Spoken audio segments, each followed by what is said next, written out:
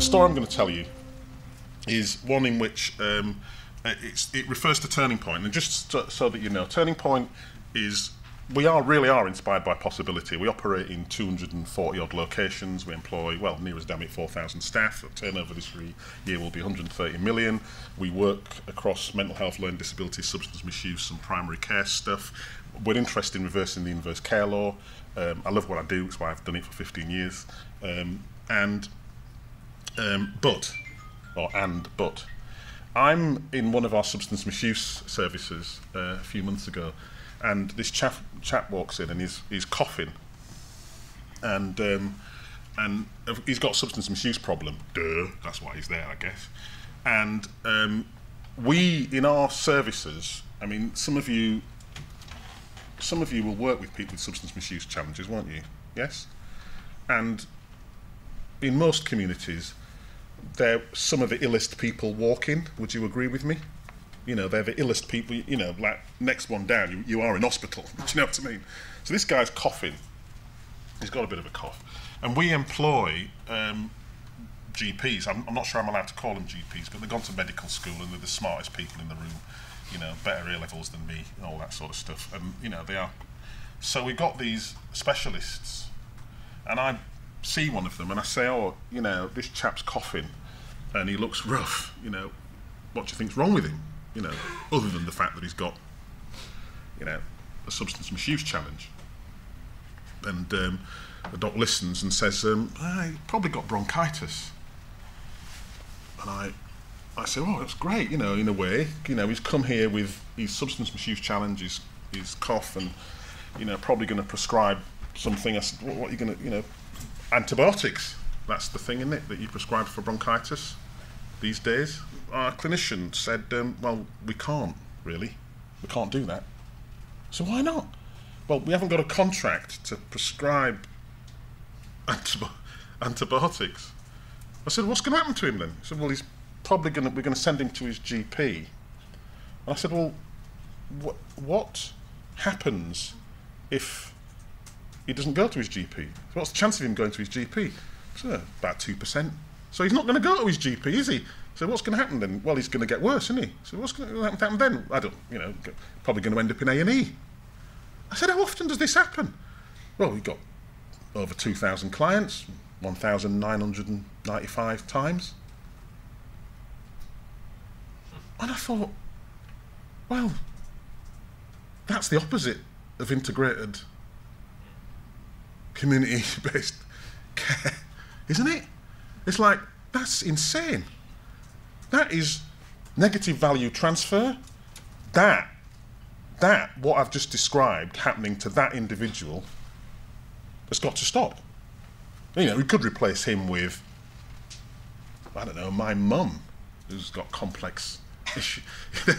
the point being that there should be no wrong door, and every service should reverse the inverse care law, which simply states those people in need of health and social care the most get them the least. Right? That's what I mean. Right? That's what we should all mean when we talk about, um, well, in my view, the future of the NHS, but person centred care for vulnerable, vulnerable people and indeed integration, place based health. It starts there and builds out, which is a problem for the NHS because the NHS is process driven. If you want to, put your hand up if you haven't been in a session, in a meeting with a load of NHS England or, I don't know, CCG people, where your thought has been, you know what? What's the intention behind this process? You with me? Right? What's the intention? That should drive the change. For Turning Point, um, you know, I, one of the reasons I accepted this this um, this gig is because we work with 776 pharmacies across the UK. So I want to say thank you, frankly, because um, we'd be stuffed without you, and so would our clients. so, um, you don't hear that very often, do you? Thanks. We have we have all the panoply, I think, of pushing towards um, some of the big shifts in both pharmacy and the delivery of care to vulnerable people. You know, pharmacy is challenged by basically the growth of, and which I think is a good thing, by the way, but I think it's a challenge to the pharmacy business model of the electronic age. You know, what can be done uh, with patients? Um, they're not just passive recipients of a prescription anymore. They're active participants and want to be active participants in their own health. Even people who are as ill as some of the people that, that Turning Point work with actually don't want to be done to, they want to be done with. But but that is a very big shift, I think, in how we all have to operate, and in particular how pharmacy um, has to operate. You know, the whole panoply of 24/7, you know, electronic prescribing, uh, the work that we're doing with pharmacists to measure and to help us construct conversations with the NHS about who's going to be in and out of their acute care, their A&E, the expensive stuff. You know, that's the kind of stuff that we're um, that we're working with. In doing that, as in doing that, both pharmacy and Turning Point is actually trying to innovate. You're trying to innovate. So, you know, a lot of people think that if you innovate, what you do is you publish what you. We, we're very good at that. We publish papers and we shove it all out there. You know, do this, do that, best practice, toolkits. Uh, this stuff falls like snow, lasts about as long, right? The fact of the matter is, um, most innovation works because the people who innovate take over the people who don't. That's how it works, actually. The other myth is that you go through two stages of innovation. You, you practice the new, the new thing, the new toy, the new service till it's perfect, and then you roll it out. Wrong. You roll it out and practice at the same time. Huh? The fact of the matter is, pharmacy operates where people are,